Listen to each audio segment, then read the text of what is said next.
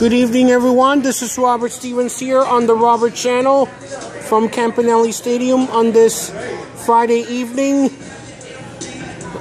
1st of August of 2014. And now it's time for your business report, your, the closing final word on Wall Street. Well, I can tell you today, stocks did not do so well today. The Dow Industrials lost 70 points. The Nasdaq lost 17 points, and the S&P 500 lost 5 points, and then some. Uh, the FTSE 100 lost 50 points. DAX Germany lost almost 200 points. The Hang Seng, no, the Nikkei lost nearly 100 points. The Hang Seng lost 225 points almost and the Shanghai lost 16 points. Commodities, big movers. Actually, crude oil regular was unchanged to 97.88. Brent crude oil, however, dropped $1.37 to end at $104.65 a barrel. Gold gained $12 even to close today at 1294.8. Silver and copper both unchanged to 20.37 and 321.45 respectively. And now it's time to do a gas price price patrol.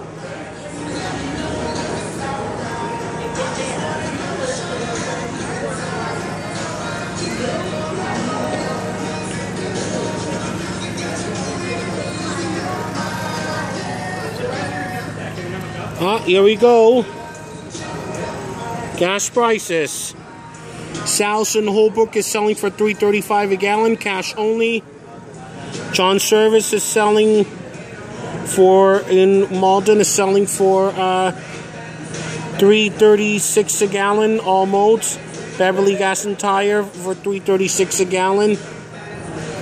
King Petroleum in Malden for 3.37 a gallon.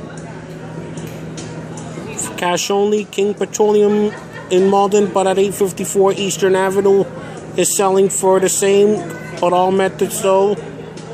By the way, the cash only King Petroleum is at 324 Broadway. Hess Express in Malden is selling for 337 a gallon. In Malden, Hess Express in Revere for the same price. Petsy Service Center in Chelsea is serving up for 337 a gallon, cash only. E&J Gas in Holbrook is selling for 3.37 a gallon as well. Costco members only in Danvers selling for 3.39 a gallon. Green Street Motors in Wilmington is selling for uh, selling for 3.39 a gallon. So is Prestige in Stoughton, also 3.39 a gallon. ProTech in Malden for 3.39 a gallon. BJ's Wholesale Club in Revere for the same 3.39 a gallon. And lastly, Angelo's in Saugus also selling for $3.39 a gallon.